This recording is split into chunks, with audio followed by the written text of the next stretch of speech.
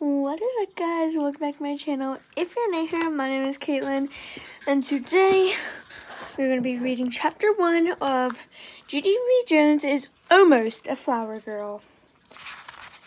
Be reading one chapter every day. Come back tomorrow for some more. Let's start chapter 1. Ricardo. My name is Junie B. Jones. The B stands for Beatrice, but I don't like Beatrice. I just like the B, and that's all. I am B Charlotte. A beat Charlotte is when a boyfriend named Ricardo bumps you at recess, only wasn't expecting the terrible trouble. It is happening on the playground. First, I was playing horses with my friends, Lucille and Grace. Then all of a sudden, my boyfriend. Hold on, I gotta show you the picture. All of a sudden, my boyfriend named Ricardo runs right past me and he was chasing a new girl named Thema. Ricardo, I hollered. Hey, Ricardo, exactly what you think you doing, mister? Then I zoomed right over after that guy.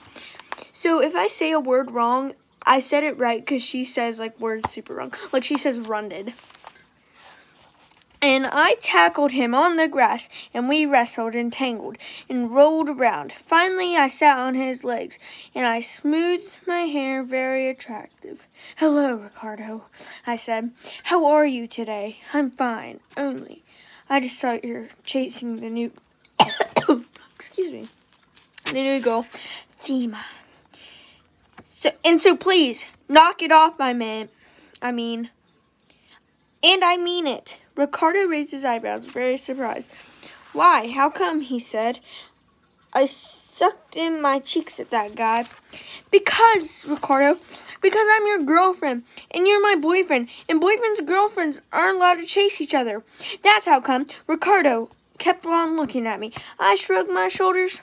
Sorry, those are just the rules, I explained. Ricardo's face turned very gloomy.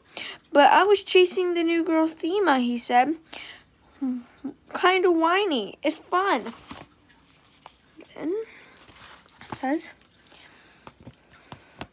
I patted him. I patted his arm, very understanding. Yes, well, I don't make the rules, Rick. I said just for enforce them. I said.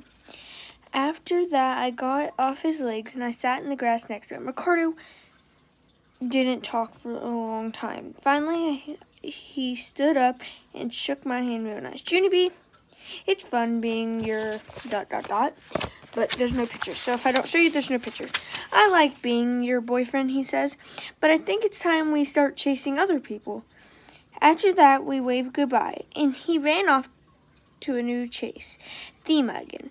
My eyes got big and wide at him. No, Ricardo, I shouted. No, no, no.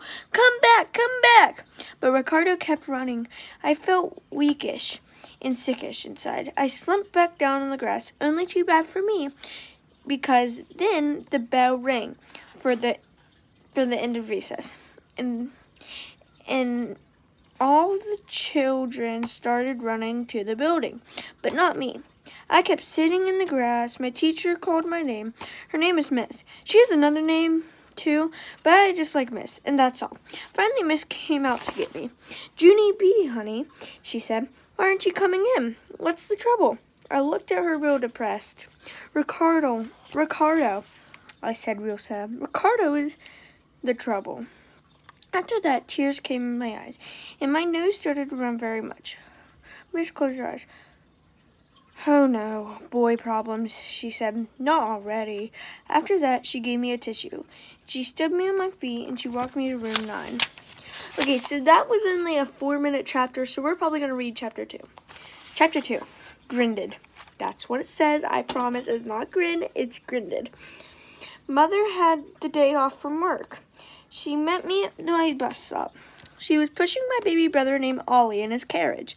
I ran to Mother and hugged her legs. Mother, Mother, I'm so glad to see you, I said, because today is the worstest day of my life. I've been running through the milk to tell you. Mother raised her eyebrows, kind of confused. I think you mean mill, Junie B, she said. Run through the mill means you got her. You've had a hard day grinding all day, nodding my head. Yes, mother, exactly. What kind of day had caused my boyfriend named Ricardo wants to chase other people? And good and that news grinded me right into the ground. I reached in my pocket and I pulled out a snack cookie.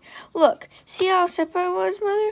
I didn't even eat my snack cookie at snack time because my stomach felt queasy and sickish inside.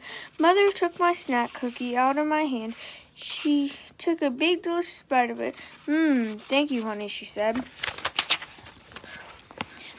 I stared and stared at that woman because she missed the point, apparently. No, Mother, you're supposed to eat my snack cookie, you said. You're supposed to feel sorry for me. Plus, you have to tell, tell me how to get Ricardo back. Mother bended down and gave me a hug. I'm sorry, honey. I know you're all upset about Ricardo, but really and truly, Junie B, you're way too young to have a boyfriend.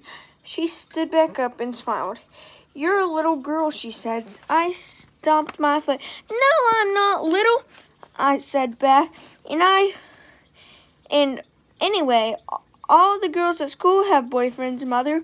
My best friend Lucille has a boyfriend named Clifton. And my other best friend Grace has a boyfriend named Roger. And Charlotte has a boyfriend named Ham. And Rose has a boyfriend named Vincent. And Lainey has a boyfriend named Crybaby William. And now I'm all alone with nobody. Mother did a sigh. I'm so sorry, honey, but all those girls are too young to have boyfriends, she said. Please Junie boy, do not start this boy stuff so soon. Little girls are supposed to footloose and fancy free. I did a frown. What's loose feet got to do with this problem, I asked. Mother laughed. It's just an expression, Junie I, she said. Footless and fancy free means you can run and play with anyone you want. She ruffled my hair. Don't you want, don't you don't want to have to worry about picking out a boyfriend until you're much, much older, she said. I did a huffy breath at her. But I'm already much, much older, I said. And besides, I don't want to lose feet and the same kind of feet everybody else has. I'm not a baby, you know. I quick runned over to Ollie and I held up his teensy hand. See, Mother, this baby hand.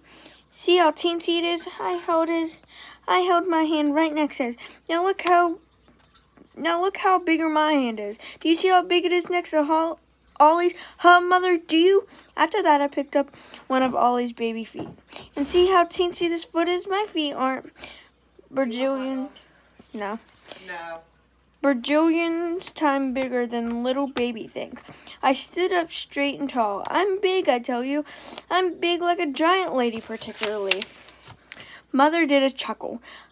Sorry, Toots, but I'm afraid you're still too young for a boyfriend, she said. After that, she gave me a big hug. She smoothed my hair and she, she ate the rest of my snack cookie. I'm so sorry, I forgot to show you the picture on the last page. So that is chapter 1 and 2. Come back for tomorrow for 3, maybe 4. Okay, that's it for today, guys. Hope you enjoyed. Bye!